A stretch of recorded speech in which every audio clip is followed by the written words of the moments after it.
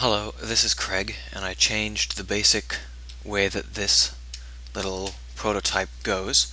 First thing I did is I changed the office around, so down here um, the uh, uh, there's no longer a background image, but I can fix that, but these objects actually exist in the office, and if she weren't talking to me, I'd be able to mouse over her and get information. Um, the plot is exactly the same. She's blackmailing us into hacking the school network. However, you if you remember the old one, it now looks a little bit different. Um, gone are the giant lists, and instead I'm using this kind of uh, node graph situation where I've simplified it to the point where every single thing you do is a single click on this, uh, unless you're doing something down here, obviously. So, uh, for example, if I were to click on this, it would hack it. If I were to click on this, it would shrink it down so I wouldn't see anything.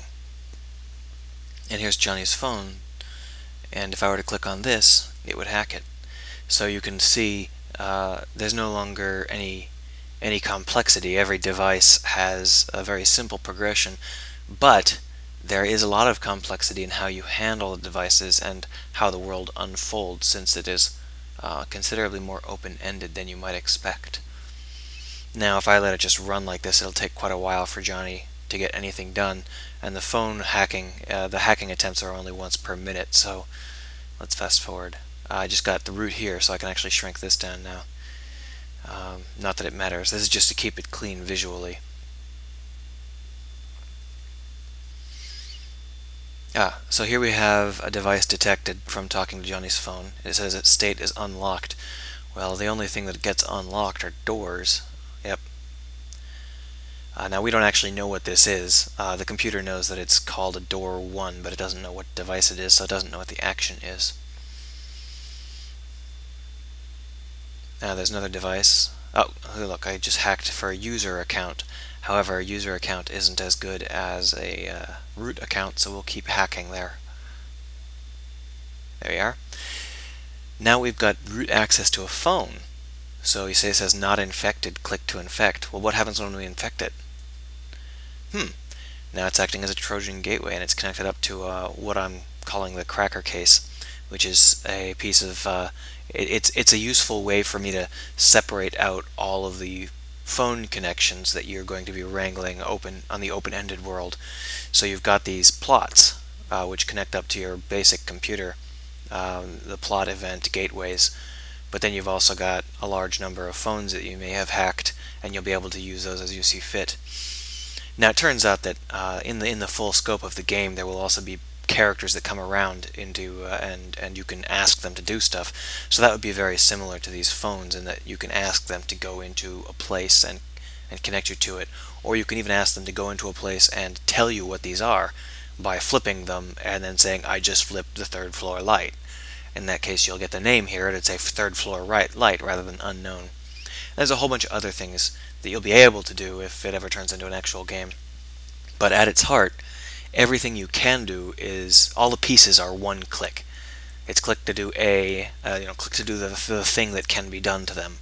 And sometimes that will take them along a progression, and sometimes it'll just toggle back and forth between two states. For example, I can turn the third floor lights on, I can turn the third floor lights off. I can turn them on. I can do that a billion times. Um, now, if the security guard was paying any attention, he would notice that, but he's not. He doesn't care. Um, I'm also going to add in some text messages from Johnny going out to uh, his girlfriend, which, if you've hacked Johnny's phone, you'll be able to see those messages, and he'll tell you, uh, no, honey, I'm on the third floor, so you'll get the labels as they happen. Um, but I haven't gotten that far yet. So that's what I'm doing here. I've uh, I've switched it over so that it's a lot more um, punchy and a lot less uh, um, a lot less listy.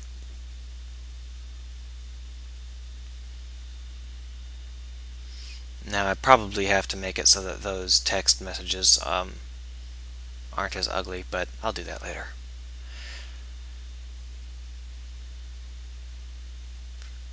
So Johnny just disconnected.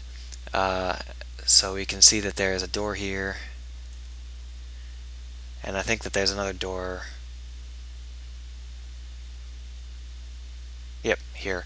Now this one's the front door. We don't actually have to unlock that one, but we don't know which one is the front and which one is the back at the moment, so we'll unlock both to be safe. And we'll fast forward. And just like before, and when midnight comes around, that lady, her name is Helix, comes by and uh, knocks on the floor, knocks on the door, gets in.